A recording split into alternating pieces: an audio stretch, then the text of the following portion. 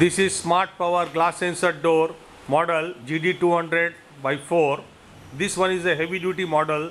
The width of the aluminum channel can be 4.2 meter and you will get a clear opening of 2 meter. Each leaf can be 125 to 150 kilo or you can have a single leaf as shown in this video. This single leaf can be 2 meter wide and can, can be of the weight of say 180 kilo. This is a heavy duty model. This is a 36 volt DC brushless motor.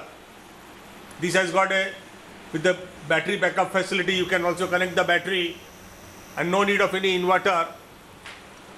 This is the remote control sensor also. There is a remote control sensor. With the remote control you can lock the sensor door and no need of any external EM lock. This one is heavy duty with double rail line technology you can see this is the second rail line with a rubber strip. Rubber strip is for the soundless operation. You can see the black color of the rubber strip. And the second rail line is for long-term use. After 4-5 years, the second rail line will be damaged and then no need to replace the whole channel. Only replace the second rail line and the system will start working again. You can connect the normal motion sensor or you can also have the hand scanner. And these are the photo beam sensor. If somebody will come in between the gate will not close. Suppose the gate is closing down then if somebody will co- come in between you can see if somebody will come in between then the sensor door will not close. You can see from the inside in the inside there is a hand scanner. So when you want to go out you can just touch the hand scanner the door will open or you can also install the normal motion sensor.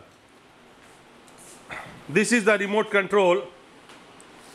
If you press the button the top button lock then you will see the door will be fully locked from both the side. If you go you will see if you go the motion sensor is not working and door is locked from both the side. Now i release the lock from the last button. Now the lock has been released the second one is one side locking. You can lock one side so that you can lock from inside or you want to lock from outside. Suppose you are counting the cash and you don't want the people to come from outside, so then you can lock from the inside. The third button, the third button is for totally open, so it will be fully open and it will not close down. Both the sensor will be inactive and it will be completely open. The fourth button is for half open. Half open is mainly used to reduce the electricity bill. You don't want to open fully so that the air condition loss will be limited.